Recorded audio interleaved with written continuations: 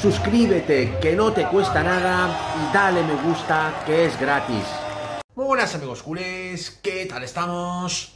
Voy a empezar este vídeo hablando del brutal cambio físico de Pedri y de algunas personas, algunas hasta conocidas, que ya están soltando rumores y bulos de que Pedri está utilizando anabolizantes. Como sabemos, Pedri tiene tan solo 20 años, es de constitución delgada y de estatura media. Mide exactamente 1,74. Cuando fichó por el Barça estaba bastante delgado, bastante flaco, porque es de, de esa naturaleza, su genética es así, y muchísimos expertos, incluso preparadores físicos del Barcelona, le han aconsejado de ganar peso y sobre todo masa muscular. El chaval pues se ha puesto al tajo, se machacó en el gimnasio y ha ganado exactamente casi 10 kilos de masa muscular, con una dieta bastante dura y ganó casi 10 kilos de masa muscular. O sea, estamos hablando, ¿eh? la gente que es experta en el deporte y sobre todo que ha hecho deporte, sabe lo, lo que cuesta ganar 10 kilos solamente de músculo puro. O sea, ese es el gran mérito de Pedri. En tan solo dos años pasó de pesar 60 kilos, ojo, con 1,74 de estatura. O sea, Pedri parece eh, bajito, pero no lo es, ¿eh? O sea, es de estatura media. ¿Eh? Con 1,74 pasó de pesar 60 kilos a casi 70 kilos. O sea, de 60 a casi 70. Ahora mismo estará pesando unos 69 kilos y algo. O sea, casi 10 kilos de masa muscular. El gran mérito que tiene, eh, que tiene Pedri en este caso. Pero ahora vienen gente eh, que no entiende seguramente nada de deporte, que son simplemente haters, seguramente haters de Pedri, sobre todo del Barça, y ya están soltando bulos muy peligrosos por las redes sociales, de que Pedri eh, está utilizando anabolizantes, incluso se pincha, tal y cual. Ojo, y los rumores y los bulos vuelan. Vuelan y son y son muy peligrosos. Qué curioso que siempre lo que critican los físicos de, los demás es el que menos deporte hace o ha hecho. Es el que nunca se mueve de su, de su sofá. O sea, qué curioso que siempre el que critica a los demás, que ese se pincha, ese usa no sé qué, todo artificial, eh, lo que hace es mentir a la gente, eso no es verdad, eh, se harta de, pincharse, no sé qué, no sé cuál. Ese es el que nunca ha hecho deporte y el que nunca pisó en gimnasio y el que nunca ¿eh? ha roto lano cogiendo pesas. Qué curioso, ¿eh? O sea, se creen o quieren hacer creer que los chavales que están en la playa, los campeones que están eh, compitiendo en el mundo del culturismo, solamente son así eh, a base de pincharse y de tragar proteína y ya está.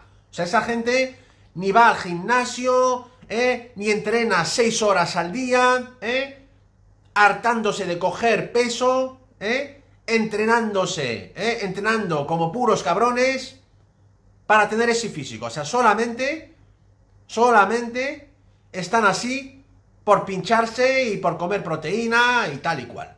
¿Eh? Y esto, ojo, no es el mismo caso de Pedri. O sea, decir que Pedri usa anabolizantes y se pincha es de un auténtico ignorante. Aparte de ser un hater y mala persona. Con los controles antidoping que hay en el fútbol, o sea, va a venir Pedri y va a decir, bueno, me pincho para ganar masa muscular y poder rendir mejor en el campo. O sea, ¿en qué cabeza cabe esto? ¿En qué cabeza va a caber esto? O sea, no se lo creen ni, ellos mismos. ¿Quién ha soltado o ha publicado este bulo? Están soltando estos bulos. ¿Cómo puede ser que Pedri, un jugador profesional, con controles antidoping, cada semana se va a pinchar? O sea, lo que hace el hate y el odio y la envidia al Barça y a Pedri. Lo malo es que hay gente que, que lo llega a creer. Gente que no está informada, nunca ha pisado un gimnasio, no sabe lo que es el deporte en su vida, no entiende de, a lo mejor de fútbol, ve partidos pero no entiende nada de fútbol, no sabe cómo va este tema y lo cree y lo publica y lo comparte con sus amigos, con sus familiares, etcétera. Y esto es muy peligroso para, sobre todo para la juventud, que todavía no tiene experiencia, no ha entrenado en su vida y se cree que, que el físico solamente se consigue a base de pincharse. Que no es verdad tampoco. O sea, hay gente, hay deportistas que sí utilizan anabolizantes para poder competir, pero no son así a base solo de anabolizantes. Esa gente se machaca en el gimnasio, no lo siguiente, se hartan a entrenarse, porque yo he entrenado años en el gimnasio y sé lo que cuesta eso. Pero en el caso de Pedri, no es el caso. Pedri ha ganado masa muscular y tiene ahora mismo este pedazo de cuerpo a base de disciplina, entrenamiento y dieta y sobre todo sacrificio y sufrimiento. Porque todo se consigue a base de sufrimiento. No hay nada en la vida ¿eh? que viene así de regalo. Nada. Cada persona que tiene algo lo ha conseguido a base de curro. Tiene un Ferrari, lo ha conseguido a base de curro. Tiene una pedazo casa, lo ha conseguido a base, a base de curro. Tiene un pedazo de, de, curro, pues lo ha conseguido a base de sufrimiento y trabajo. O sea, aquí estamos sentados en el sofá y así tenemos un cuerpazo, tenemos un cochazo, tenemos un no sé qué. Por favor, vamos a pensar un poco. Dejémonos de envidia y de hate, ¿eh? Y vamos a trabajar. Y vamos a currarlo como esa gente. Antes, antes de criticar a Pedri, vamos a hacer como él, vamos a sacrificarnos como él y vamos a ganar así físico. Pero claro, es más fácil eh, echar mierda, criticar y, y soltar los bulos, ¿no? Pues sabéis quién son los dos mejores fichajes hasta el momento de nuestro querido Barcelona.